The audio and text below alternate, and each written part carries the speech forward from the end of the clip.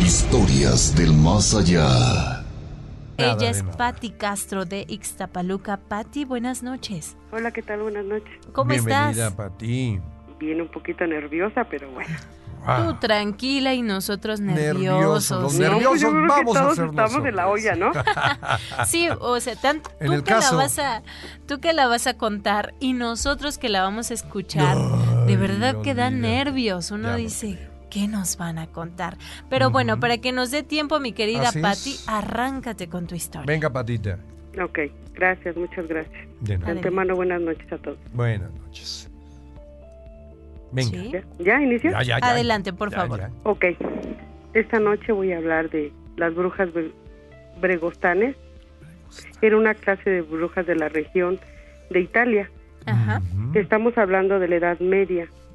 En ese tiempo las brujas llegaron a México, llegaron a Morelia, Michoacán. Mm, Mi abuela nos contaba en ese tiempo que las brujas, había brujas buenas, brujas malas. Sí.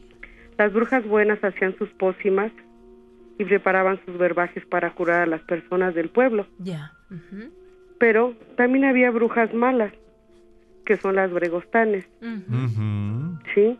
Y la historia delata de esto. Vamos a hablar de Francisco. Bien. ¿sí? Francisco. Francisco era un niño que en ese tiempo le gustaba mucho jugar con los niños a las escondidas. sí. Él siempre le gustaban los lugares oscuros y lejanos, donde él jugaba mucho con sus amigos en el aspecto de que los hacía sufrir para que no lo encontraran. Y esa noche empezaron a jugar a las escondillas, las escondidillas, perdón. Sí, no te preocupes. Sus amigos empezaron a buscarlo, pero no lo encontraban. Y pasaban las horas y pasaban las horas. Ay. En ese tiempo, las brujas llegaron al pueblo, eran brujas peludas, Mm. ¿sí? Recuérdame el pueblo, la- Pati. Morelia, Recuérdame. Michoacán. Ya. ujú, Las brujas tenían en la palma de sus manos Sí. zarpas. Ok. Sí. Zarpas. Con esas zarpas, ellas degollaban los intestinos de los niños Mm, para comérselos. Sacaban los intestinos. ¿sí? ¿Sí? Entonces, empezaban a buscar a los, al niño. Los niños fueron corriendo con sus padres a avisarles que no lo encontraban. Uno de ellos llorando, papá, papá, no encontramos a Francisco. ¿Cómo? Salieron con cuchillos, machetes, al bosque a buscar a, a Francisco. Al pequeño Francisco. Las brujas para ese entonces, a ellas les gustaba estar en lugares oscuros y lejanos, en las alturas, para poder tener a sus presas. ¿sí? Bueno, antes de salir del pueblo, los padres de todos los niños agarraron hachas, machetes, mecates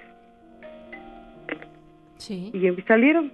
Pero antes de salir del pueblo, sale una pequeña viejita de casi 100 años Mm. y detiene al pueblo, ¿no? Enardecido, furioso. Y les dice, ¿van a ir a buscar a las brujas? Dice, ¿cuáles brujas? Van a ir a buscar a las brujas, las brujas existen. ¿Cómo que existen? Sí, hay brujas en el bosque, pero para que ustedes la puedan atrapar, Sí. necesitan llevar perros. Y no le hacían caso, pero dos de los padres llevaron a sus perros y se internaron en el bosque. Cuando más iban adentrándose al bosque, empezaron a ver unos ojos luminosos. Los padres empezaron a correr, soltaron a los perros y a lo lejos empezó a oír un susurro, un gruñido que heló el corazón de los padres. Los padres empezaron a caminar lentamente, lentamente. Los perros pues empezaron a correr, a correr, a correr.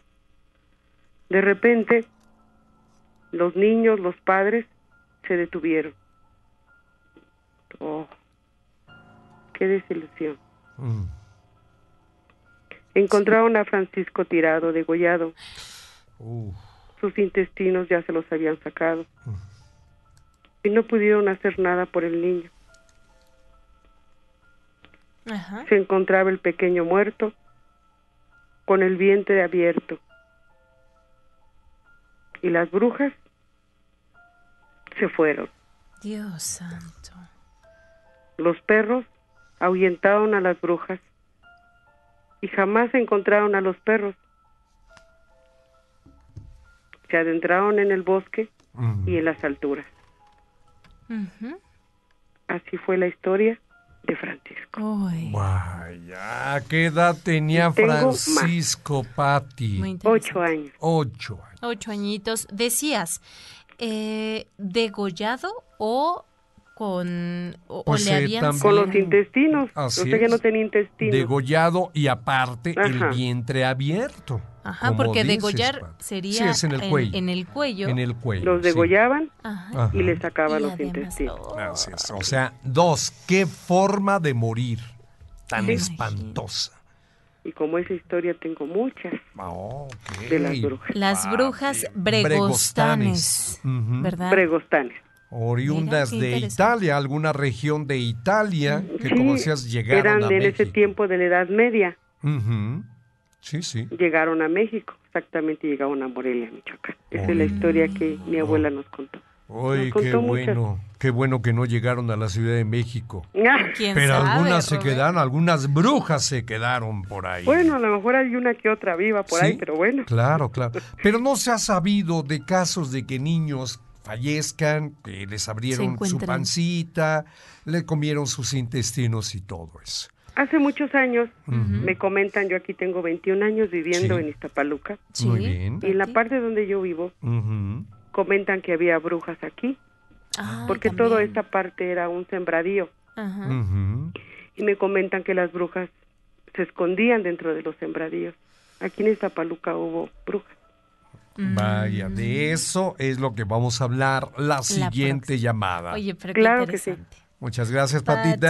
Pase bonita noche, amiga. Un Gracias por ilustrarnos. Chao. Buenas noches. buenas Que estés noches. muy bien.